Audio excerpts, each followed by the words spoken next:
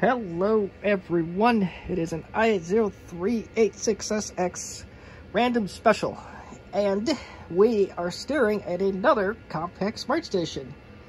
No, it's not a rerun. Not at all. I shall show you how it's not a rerun. Well, we got two drive bays that are never been filled. Although, well, you could have bought that. True. I could have. But we flip it to the bottom, and you notice something about this one versus the one I've worked on previously. It's all in one piece. But how did I acquire such a rare piece of Compaq history, you may ask? Well, it's an accident. It's clearly, purely an accident. See, this came up on the old, the, the marketplace, Facebook Marketplace, and I originally offered it to the the Compaq LTE owners group. Say, hey, maybe pick this up. It was only $50.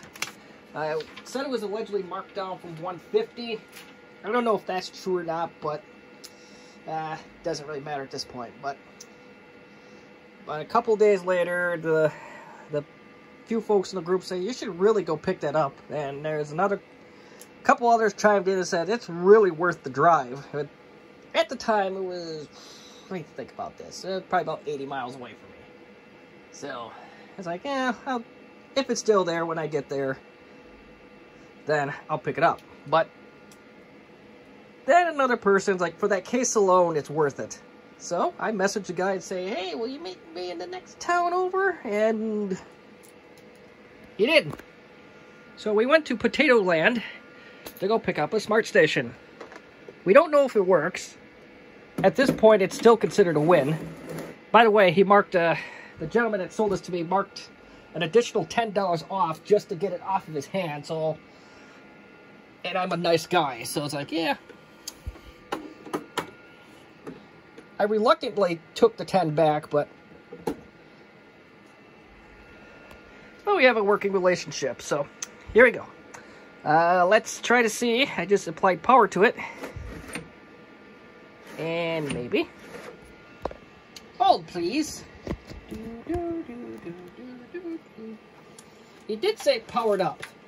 Well, I'll tell you right now, it's not going to power up as the way I had it, unfortunately. Um, uh, that's not...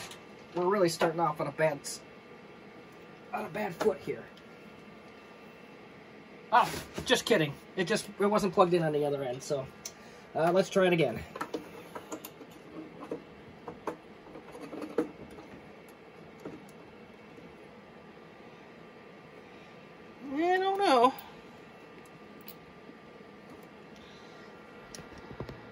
There's one other thing I want to check here too before I do anything else. There's two dip switches that are, uh, they are set correctly, so it's good.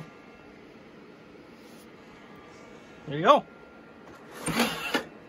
That's looking good.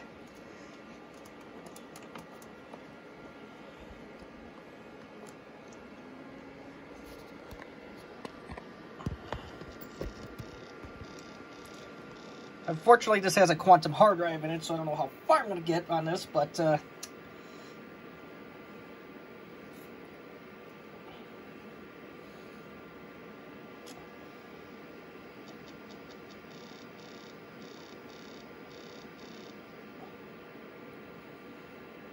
doesn't sound too good, the hard drive in here. Stand behind here and maybe see a little bit better. Uh, you know what? I'm going to turn it off. I'm going to eject this thing. Works great.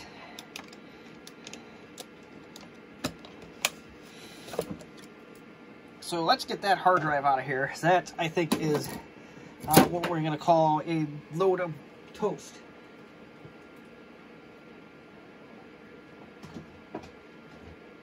Please.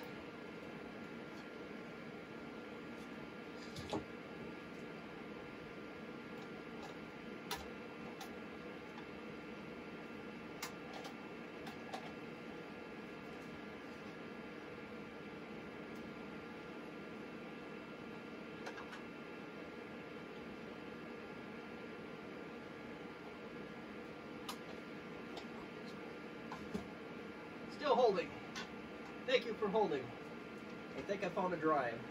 Or it's an empty shell. I'm not sure which one, but uh, uh, it is kind of important to test docking stations inside and out. And I did find one with a 256 megabyte CF IDE adapter. So let's give that the old college try.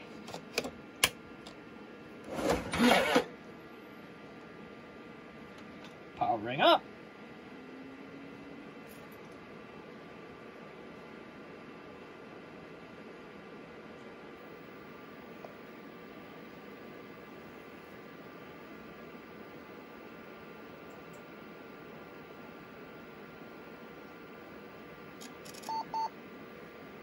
That's more like it.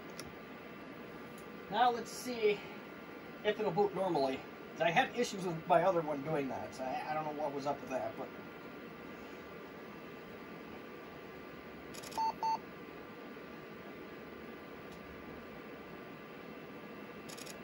No issues. Didn't have to do anything with this one. It just booted right up, so... For $40, I think we did damn good. And I mean damn good. So, the gods were smiling on me today on this one. That's for sure. And all, all signs pointed to go get this thing. And all it cost me was $40 and I had to go bribe my wife with some food to go bring home to go get this thing. So, we did good. We did really good. So, there it is. We have another smart station in the family now. I am going to do absolutely nothing with it beyond take it out once in a while, so that way the plastic stays intact, because I don't want anything to happen to this, because I don't think we're going to see another one like this, especially at that price. So, that's it for now. Uh, thank you for watching. Have a good one. Bye.